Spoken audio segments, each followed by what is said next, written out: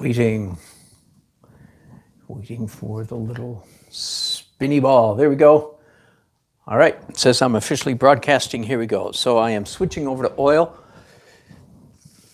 What colors? Do I want it warmer or cooler? Typically, I want both. I'm going to start with ultramarine. Actually, ultramarine with a little bit of phthalo in it. So ultramarine phthalo.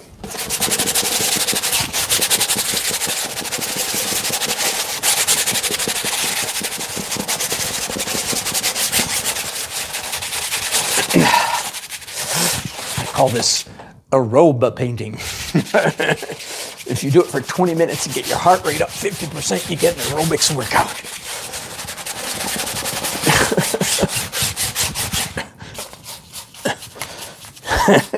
You know you're getting old when you count stuff like this as exercise.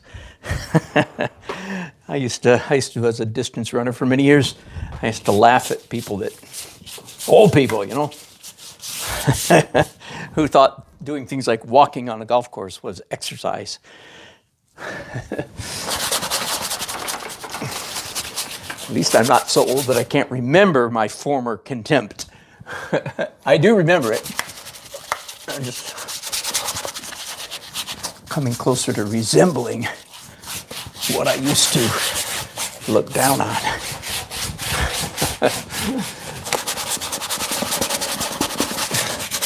okay, so I've done blue. Isn't that weird? now, let's go straight to warm. And my favorite warm, I'll go with it today, is not even cleaning my brushes, dipping it straight in oxide red, which is a brown color, of course.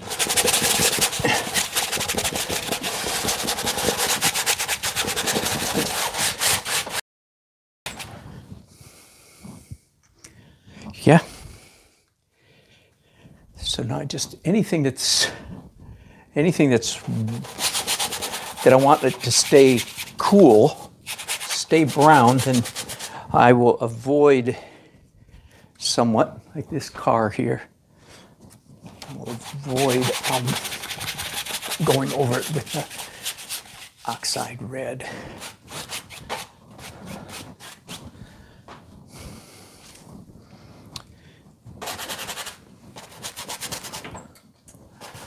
So for instance, the sky well, I'll let it stay, of course, a little bit blue.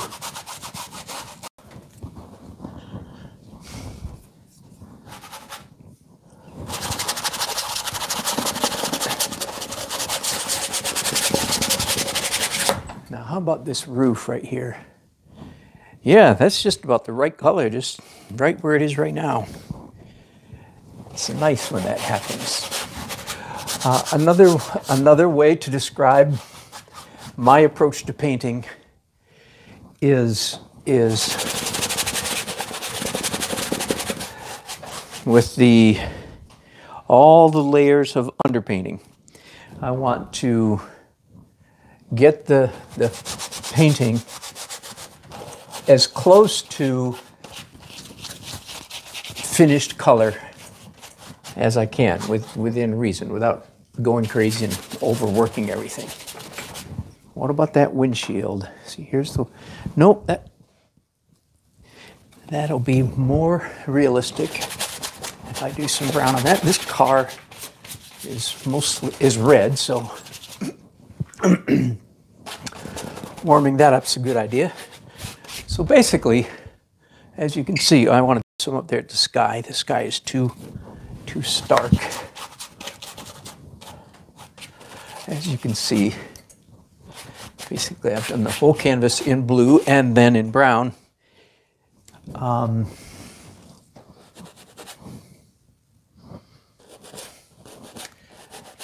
I, am sorry. Yeah, I did it in blue, then in brown, and uh, I most of the canvas is both of those both of those colors, except for this car.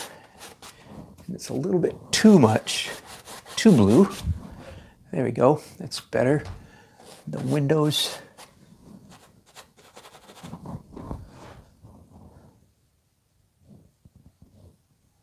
Okay, so that's my, oh, I need some brown in this big purple blob right in the middle. All right, now I think I'm going to graduate to some smaller brushes, still using my favorite brushes in the whole world. Dan Nelson's favorite brushes. Number one, chip brushes, as I sometimes call them, cheap chip brushes. 39 cents if you buy them in the right place. Second favorite brushes, any long handle brush. Uh, I'm not sure, the, and I'm not sure it's in this order. Third favorite brush. Now we're these are cheap, relatively cheap. Now we're talking good brushes. Uh, silver, uh, Grand Prix. What is it called? Grand Prix. Hang on, let me find another one here so I can read the. Yeah, silver Grand Prix, good brushes, and then finally Winsor Newton Series 7. There you go.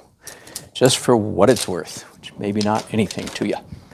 Um, now, I'm going to come in here and start doing isolated colors. For instance, this, this car right here, of course, is red. So I'm going to do some red, being careful. Whoops, that's not, hang on.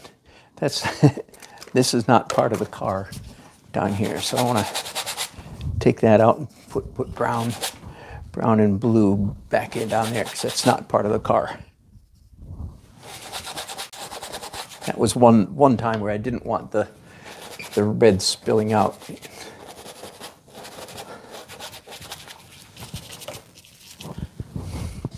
A little bit more. Most of the time I do want the red, I do want the color spilling out, but I think down there would be too, lead too much to confusion, literally. Okay, is there anything else? Well, oh yes, there are some other red things. Let's, let's go ahead and get everything that's red. There's something over the that window there. Um, the side of this, the front side of this building, it's quite a bit more red than I've got it right now. So Nah, that was a mistake. I don't want it that red over there. I'll undo that in just a second. So pick up a rag and lift. There we go. That's probably all right, just like that. Perfect. Up here, red building. And the red front of this building. Right. Anything else red? Oh, yeah, red tail lights on this car right here. So definitely a red and then red reflection in the row in the road. I think that's all the red. I'm going to clean these brushes real quickly. I'm using Gamsol there. I admire people that can paint a whole painting and not ever rinse out their brushes. Keep thinking if I ever grow up and develop a good habit, I'll do that. But at the moment, I can't do that. I, I clean my brushes. Okay, I'm going to go to yellow now. And I'm picking up uh, Indian yellow, very intense yellow. And anything that I want yellower. That's all. Anything at all that I want it to be yellower than it is at the moment. These, these pillars, front of that building, um, this area. It's front of that building. Oh, that's right. And then there's, if, if this building is yellow, then there's yellow reflection on the road down here. All right, now, anything I want green? Sure is. I need some, I need some green in here. Green is a very dangerous color, therefore almost always a good idea when you're doing green to work in transparent or translucent. Opaque green can get you in trouble faster than you can say opaque green. so be very cautious about using green. This big purple blob in the middle of the painting um, is a bit much. But if I go over it with green, you can see it's the darkest part of this photograph. It's right there. But it's, it's supposed to be dark green, not dark purple. But dark purple is an excellent underpainting color for, for green. Now I'm going to do something. Down here I did purple in the acrylic stage. Never did any purple up there. I'm going to go ahead and do some purple up there right now um, to represent or to, to go under greenery, under foliage, under tree leaves up there. Sort of to equal this purple down here, or to, to fulfill the same function as what I had going on down there. Now I'm going to add some green to that purple, just make sure it's just right, right color. Okay, now back to purple. I don't have to clean my brush. Uh, purple, I'm, I'm still, as I hope you're catching on, I am operating in the realm of transparent color. And for those of you who work in opaque color, if you were to make the switch to transparent, you would find there's several rules. For instance, in opaque color, the three primary colors are red, blue, and yellow. In transparent color, the three primary colors are yellow, not red, but magenta, and not blue, but cyan, or phthalo blue is close enough. And uh, in, the, in the world of um, transparent color, purple is the darkest color available to us. So I'm using purple right now not so much because I want purple-ish color, although I like it, it's fine. It, it's better than a dull color. But I'm using purple because it's dark. So right now I'm just doing darkness. And um, again, purple is, is dark, is the darkest color, so to speak, the darkest color that we have So anything that I want dark, like these, these wheels, the shadow under this car, okay? But it's, everything I'm doing is transparent. That's very important because it's important to understand that I'm not obliterating uh, information. I'm not covering up or losing, losing information Yeah, some purple in these windows here, dark windows. So I just wiped out some of the yellow I put on there earlier, but that's all right. That's, that's the right way to do it. Um, shadow on this ground, the dirt, just the ground, bare ground up there.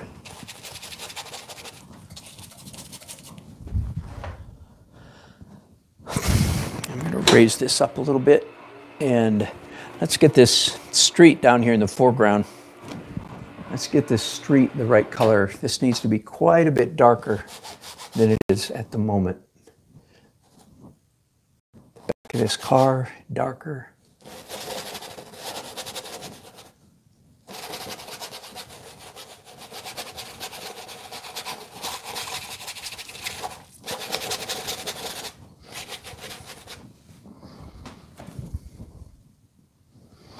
Fun, fun, fun.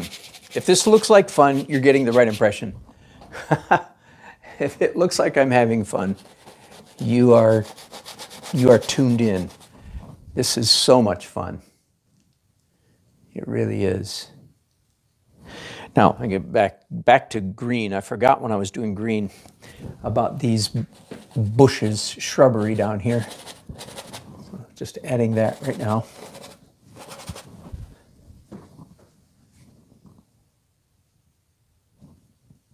Any other colors? I did red, yellow, blue, and then purple, green. Any orange? Nope, nope, we're good enough. All right, then the next thing, then we'll take a little break. Next thing is uh, cotton rag, preferably. If you have a cotton rag, whoops, I'm supposed to have some scissors. Okay, will you hang on just a second? I'm going to run into the other room and get a pair of scissors. I want to cut this nice, nice. this is what an artist calls a nice cotton, nice rag. uh, it's not stiff with paint. That's why it's nice. uh, it will be soon enough. All right, And that's so that I can use two hands because I don't want to get slide into one-handed painting. Okay, it's, it's up high, so let me start. So now, all the colors are pretty much where I want them. This is so fun. I hope it seems like fun. Now I can come in here and just start lifting out stuff that I want to be lighter value. And the fact that I'm using such a blunt instrument is really, really important. Again, almost everything I do is things that I've learned to keep me from painting tight and being a control freak. Right, tail lights and tail light reflection, tail light reflection. There we go. See, it's already beginning to take on the magic of this, this photograph. You can, if you need to, you can stick your finger through like this for more precise, more precise uh, erasing work. Most of the time, though, you don't need to. Okay, and then if that's, oh, you know what, I completely missed a, nah, it's all right, the lantern's around the side. Then uh, reflection of those lights down here. Yahoo. I'm going to lift some blue off this building. Yeah, just a little bit of lighter stuff right there.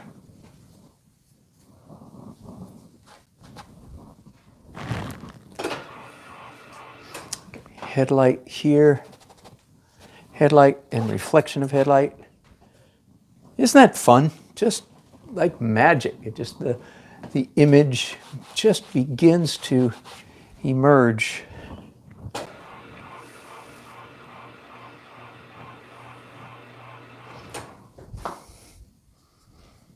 I mean, if, if this were my style, if this were the Dan Nelson style, honestly, I hope you can see I could actually stop right here and call it a finished painting, couldn't I?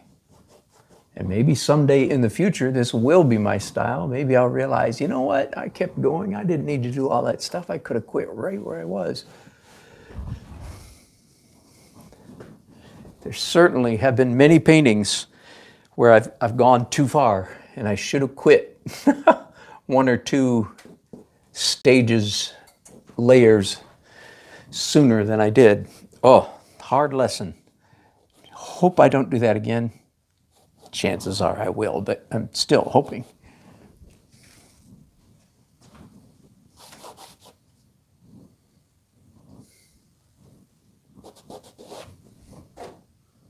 That light is a little bit too light, isn't it? So let's darken that up a little bit.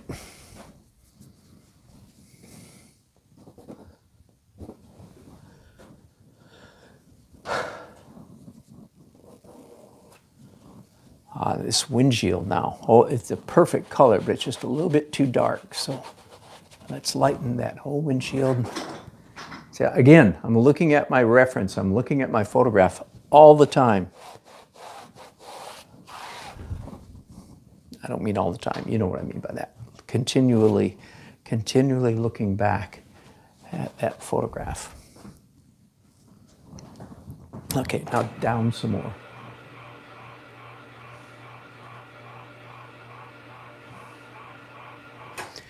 I like to say, you, you, in my world of painting, and what I call this the world of quote unquote real painting, uh, very arrogant, snobby statement. Forgive me, I know. Um, I'm going to say it anyway. The world of real painting, like Rembrandt, Frans Hals, Frederic Remington, or what David Leffel calls abstract realism. In the world of abstract realism, you don't get credit for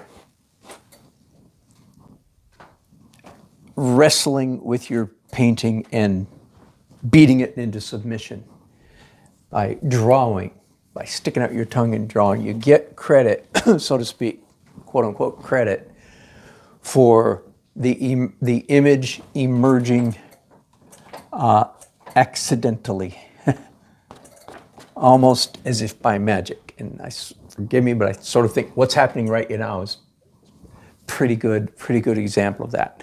This image is emerging uh, not out of white knuckle tongue painting or tongue drawing. It's emerging out of process. And in my mind, that's good painting. The image emerges almost as if by magic out of, out of process.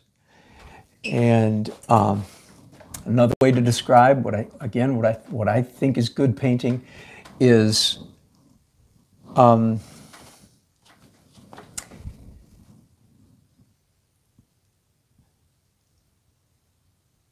every layer of the every layer every phase of the painting process every phase or layer of the painting process by itself is very abstract. Every layer is abstract. But the accumulated the accumulation effect of all those layers is surprising realism surprising degree of realism. And i would point to the painting as it is right now and say that's what i'm talking about every layer has been abstract.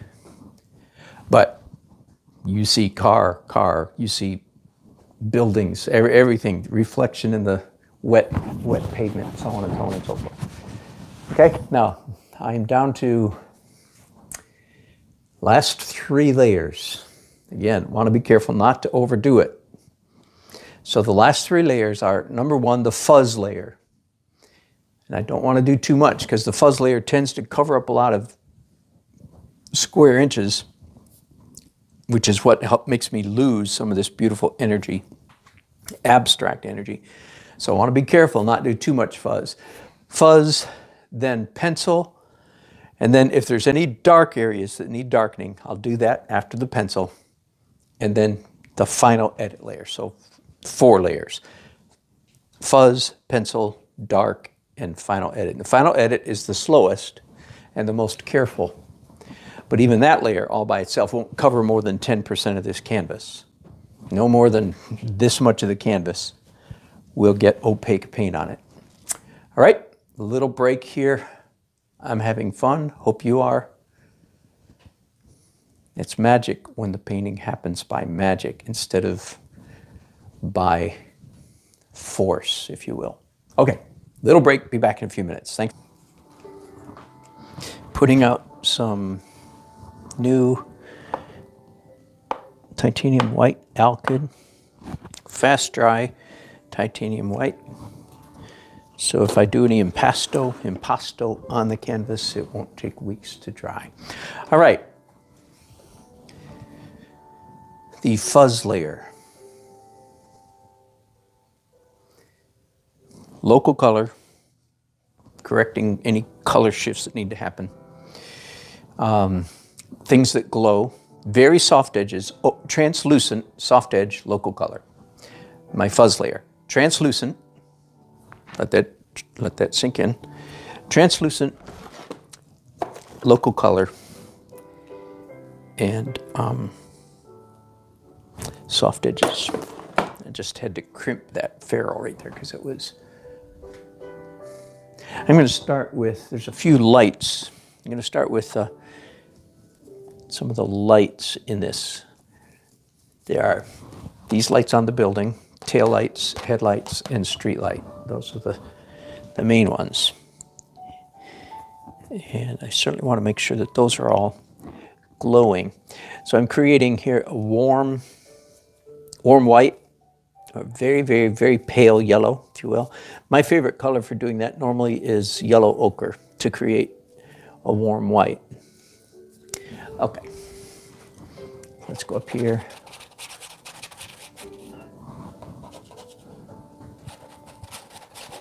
Do you see the mess I'm making? That's crazy, right? That is. Let's go up here to a street light.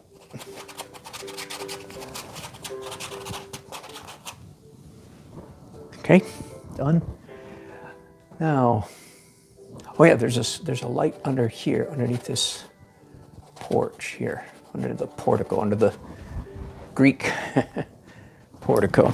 sit down now for a minute. Let's do headlights right here. I want this to be yellower for this, so I want a little bit more of a aura, a little more of an aura around these headlights. In other words, more, more yellow, bigger. Okay, and, and I hope you're paying attention here. When I say soft edges, I mean soft edges. Like that my, my glow from that headlight extends a good two inches out and glow around the, a little bit more yellow, glow around the reflection down here. If you overdo anything, you can always just take your finger and again, I'm not don't have any toxic colors in my on my palette. I think I'm going to add more yellow to I'm getting a lot of noise. Are you guys getting a lot of noise on your audio here? Is it just me? I hope it's just my monitor. Let me know, if please, somebody, if you're getting a lot of noise here. Okay, taillights. Wait, no, I want to do red. I want to do red glow around those. A bit more up here, here, and then the reflection from those from those lights. Okay, let's switch over now to red so I can do the glow around these tail lights.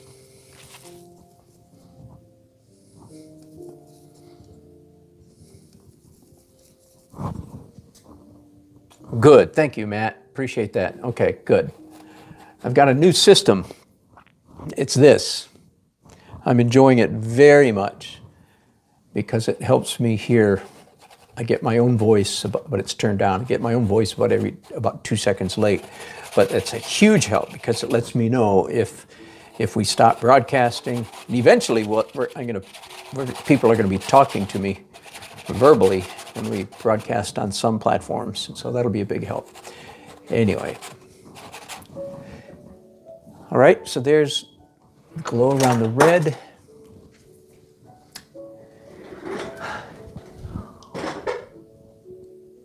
Yep. I'll, I'll clean those brushes later. Let's graduate to now some atmospheric perspective. The glow layer, especially when you're doing a, a traditional landscape that has distance in it. This is this is does this hardly qualifies because it's a very short short field, if you will. Doesn't go very far, but still, um, the glow layer is very helpful for achieving. It's kind of like atmospheric perspective in a bottle. atmospheric perspective in a layer, in one layer, in the glow layer. So there's now blue in front of those trees, much more realistic. Blue along the top of this. Of course, and as you can see here, sometimes one glow runs into another. So the blue that I'm doing up here is interfering with the white I did around that light, but it's, it's a good interference. It's not, it's not bad at all.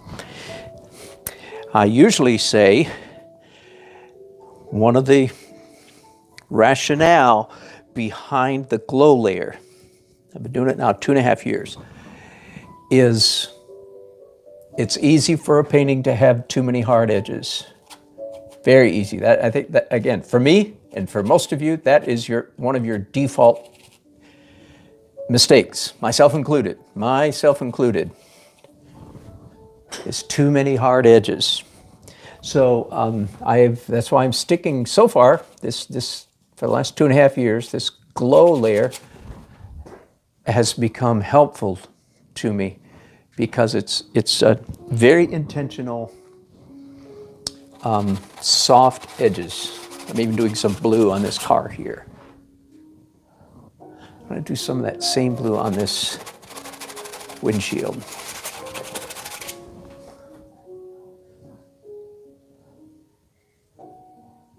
Ah, I'm going to go back to some, I need to get some bigger brushes. I want to do some, I want to do some blue atmospheric um, perspective, perspective, atmospheric color, glow down here in the foreground. way down here on the asphalt. This is too, too dark. Need some blue stuff in here and need some, need some soft edges in there. Yahoo! I think one of the ways that you can tell that you're painting, everybody's different, right? Some of you might, you might be able to derive some benefit, perhaps, perhaps from watching me paint, but you can't paint like me any more than I can paint like you. We're all absolutely unique. Welcome to the human race. But I think one of the ways that you can tell that you've that you've arrived at a painting technique that is appropriate for you is that you enjoy every single phase, every stage, every layer. And that certainly describes me. I, I get a kick out of every single stage of the painting process. That's really fun. Like I'm this, I'm just enjoying the heck out of this. Maybe you can tell. I hope you can, because I, because I am. All right. I, I think that's enough blue. Now I'm going to go to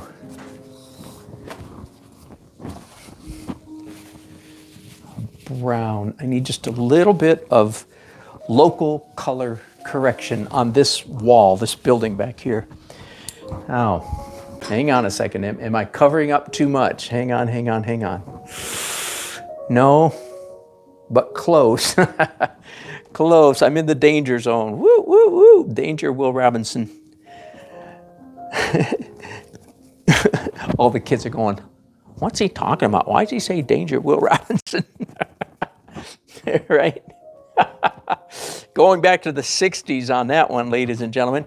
Actually, um, Netflix, I, my wife and I watched a little bit. Netflix has come out with a new Lost in Space. It's pretty, pretty charming, especially for those of us who um, remember the original. Okay, so I've got some brown. Let's make it a little, little redder. Then I made it too red, so let's add some more brown to that. Okay. And, and things, things that I want browner. Huh. Again, soft edge, soft edge, soft, soft, soft edge.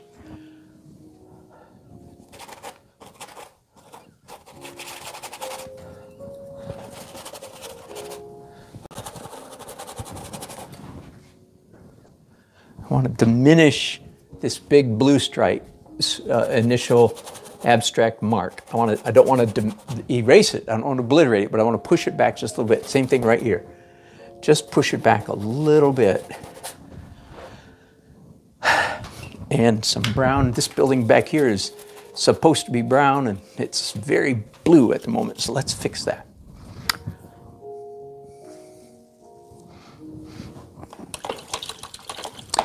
Okay, almost finished with the fuzz layer.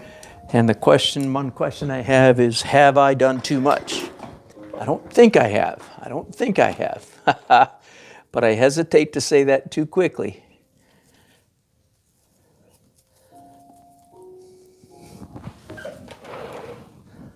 So now, I want to do a little bit more on these tail lights.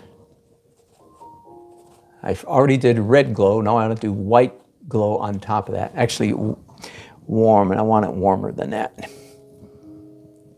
Kind of like a, a yellow orange glow. There we go. And also, of course, on the reflection.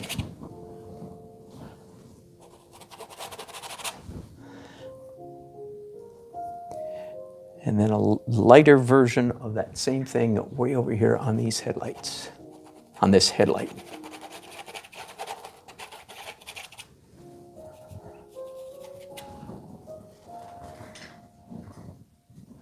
All right, I believe my fuzz layer is done.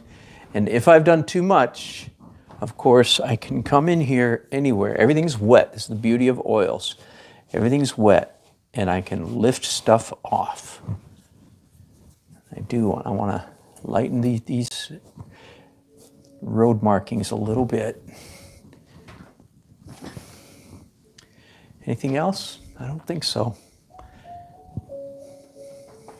And I misspoke a few minutes ago, by the way. I said I had four layers and it was five, but now I have four layers to go, I believe. Let's see.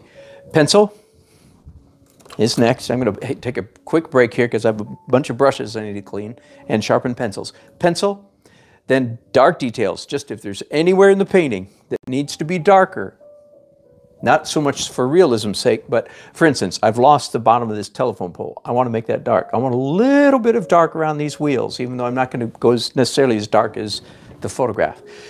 Uh, pencil, dark, final edit layer. And here's the funny part.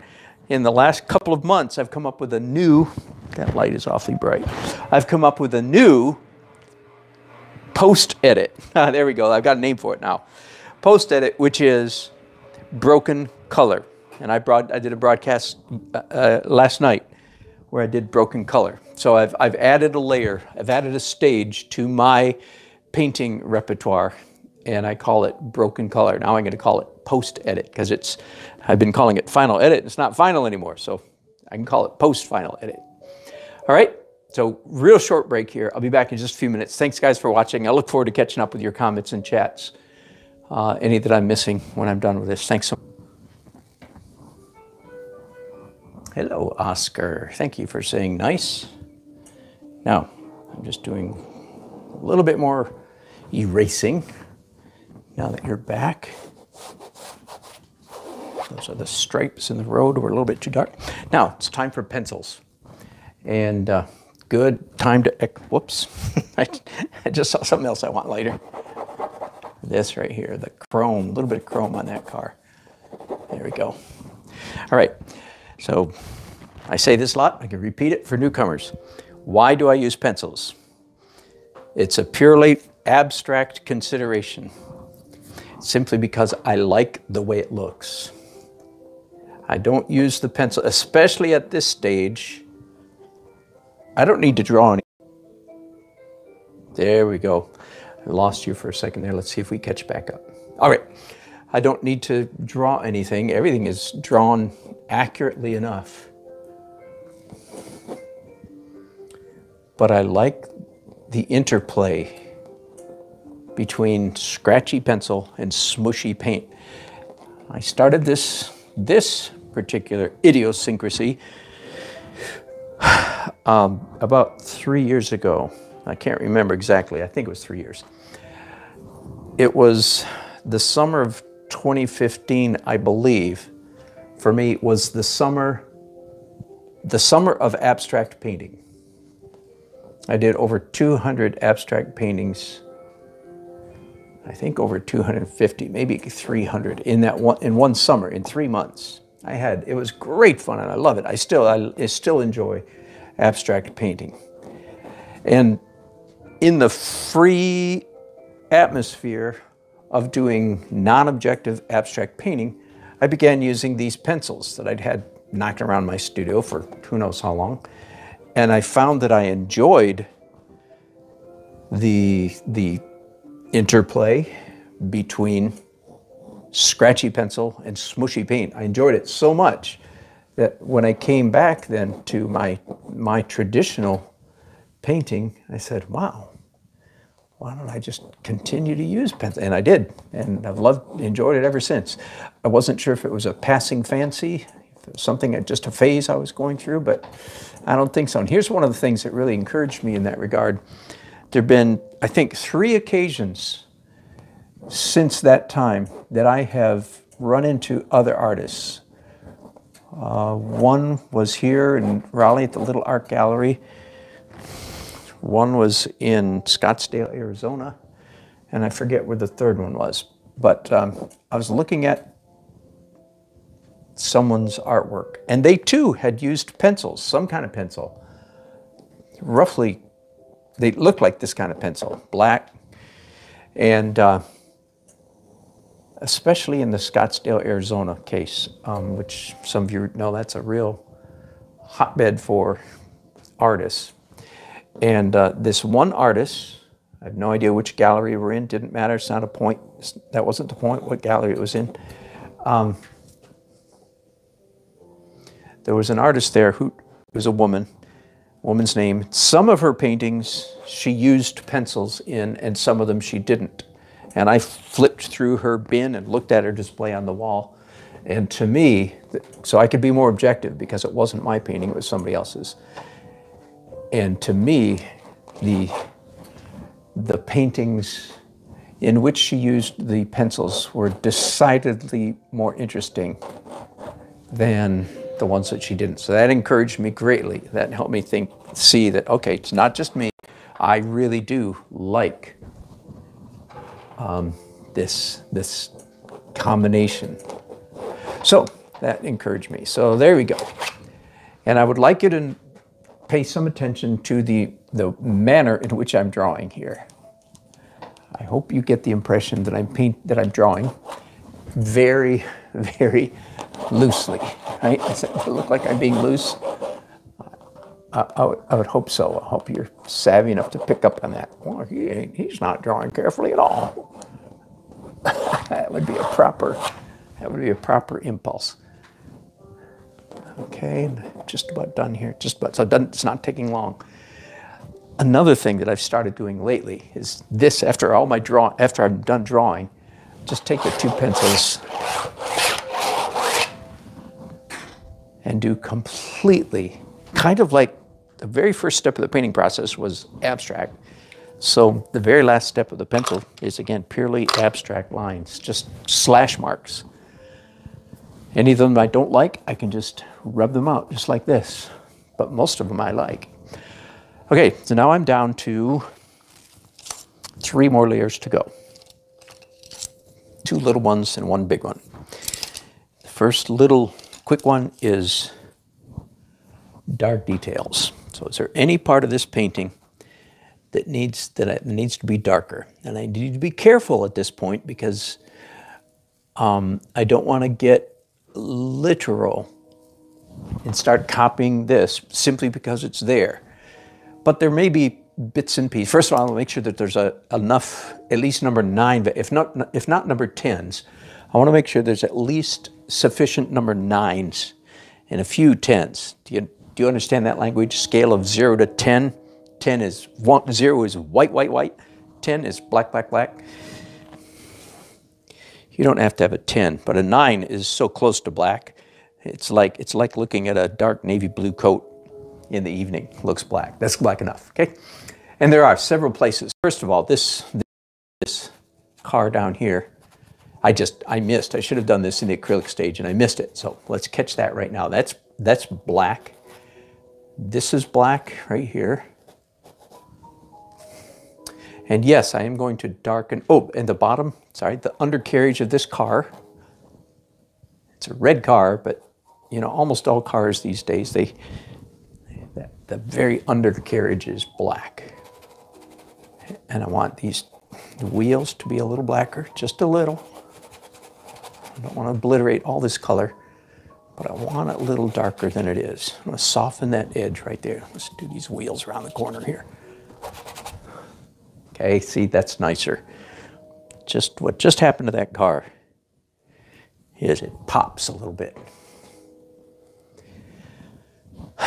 Same thing now, um, similar on this car. Little bit of black. Being careful. I sounded like Bob Ross right there, didn't I? little bit of black, little friendly little black. Undercarriage black. There we go. Shadow blacker. See the in the photograph, the shadow of this car is pitch black. That's what I mean by I don't want to get caught. I don't want to get caught up in copying. Just because it's black in the photograph doesn't mean, and that's because it's that's the inadequacy, if you will, of photography. If you or I were there with our naked eye looking at this car, we could easily see shapes and form and color and values in the shadow. But the camera is the camera is not that sensitive. So you don't want to copy the bad side of photography. right? Just copy the good parts. Don't imitate. So I'm not going to go black here, but I do want it slightly darker. That's better. Then a little bit, it's a little bit of black, real dark. I shouldn't say black, real dark right there. Dark in that rearview mirror. All right, cars are done. Um, I don't think I need to do anything down here. The road is okay. It could be darker. Hmm, hang on just a second. Just a second. Hmm, this is a late, late, late breaking. I'm going to try some darkening the road a little bit, so hang on. I just, no sooner do I say it's dark enough than I go, wait a minute, wait a minute, I'm not sure I want that a little bit warmer. Oh, the, the, the way I'm creating my black, so to speak, here is uh, ultramarine and oxide red. Ultramarine blue and oxide red.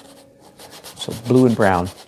So you can, that's, that's better. You can control very easily the temperature of the gray. So it's actually a very dark gray. And I add enough liquid to it so it's not, so it's not too dark. Does that make sense? It's like, like watercolor, except instead of water, it's my medium that I'm using is liquid. And, and again, important to notice that this is so not opaque. This is right now, what I'm doing right now is transparent. So even the very first abstract, see this? I don't know if you can see this yellow this red swoosh right here, uh, yellow here. Most of my most of my underpainting down here, my most of my initial abstract down here was warm colors because I knew this was going to be cool, and in fact, it is cool. So I've got opposite yellow and red peeking through so far, I think I'm doing better on this painting than on yesterday's because I'm allowing more of the initial energy. I'll use that word. I'm allowing more of the more of the initial energy to continue to show through. Okay, I think I'm done with that. So I just darkened the street and I think I like that makes the, the light areas up here. You can't have light in a painting without having equal and opposite dark. In other words, if you were to hang a completely white canvas, still in the wrapper, on the wall, people would not get the feeling that it was like, oh, that's so bright, that's so. No, they'd say, that's stupid, it's a white canvas. So, in order for something to look in your painting to look like it's bright, like this headlight, you have to have sufficient dark around it. That's what makes things look. Light is the com commensurate darkness. So I just darken that street, which will make which will make these lights pop out more. So I'm happy with that. Let's go back then to my smaller brushes. And again, I don't want to paint too much, but I think up here between these pillars, I can, it would help having some dark. What about up here? Yeah, just a little bit. Oh, then that's too cool, so I add some brown to it. It's okay, I don't have to fix it, but I don't want to continue. I don't have any people in this painting. I'm going to put one person, a little bit late, but it, but I actually can do it in the in this dark layer. There, I'm to put one person there. Now, one very specific thing I do want to do, and that is these windows here. And again, this is, I am being influenced by the photograph here. In the photograph, we can see these window panes, and they are dark. And I, I looked at the photograph, said, "Yeah, that's a nice detail. That's a nice addition to the scene." There, all done. And then these steel bent metal pipes that hold conduits that hold these these lights up they they that's just a little detail that will aid in the in the realism of the of the scene because I want people to know those are you know real traditional folksy kinds of uh, lights on the front of a building and it got lost down here so there oh and it comes all the way down here right yep yep yep yep there so now we've got that pole back and then this this stuff is great for doing um, branches, limbs. I had limbs painted in here earlier, but they got they got lost. Now they're back. That looks good. Same thing up here. One when I when when I teach how to paint trees, one of the things I'm going to teach you is that you paint you render trees in layers, layers and layers and layers. You don't do it all at once unless you want to paint a bad tree. I'm assuming you don't. okay, so again, we have branches up there now. It looks a lot more like a tree. Anything else? There's a truck way back here with dark windows, maybe. Shadow on this mirror. All right, I think I'm done. I, I, if I need to, I can come back. I, of course, I can cheat. Oh, wait. No, there's a shadow here I want to get. And there's one part of this building that really, the, the, the architecture really overhangs a lot, creates a deep shadow right there. There we go. All right. If I need to, I can come back and cheat and add more dark when I get into the finished, the last stage, the last phase of the painting process. Okay, here's what I'm going to do. I'm going to take another short break because when I come back, I'm going to launch into the final edit layer. Everything I've done up to this point has been fast. When I come to final edit, the, the pace changes significantly. You say, whoa, slow down. And it's not, I'm not going to paint very much like this tongue painting. None of that, I hope. But I'm going to slow down quite a bit because I'll have to make very careful decisions and very precise marks.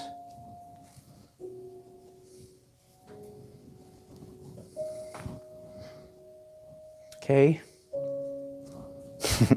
I just saw something I want to fix before. Let's let's do this before we go.